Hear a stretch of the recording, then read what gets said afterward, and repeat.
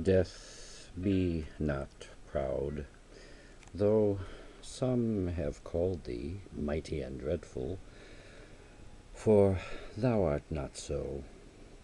For those whom thou think'st thou dost overthrow Die not, poor Death, nor yet canst thou kill me from rest and sleep, Which but thy pictures be much pleasure, then from thee much more must flow, And soonest our best men with thee do go.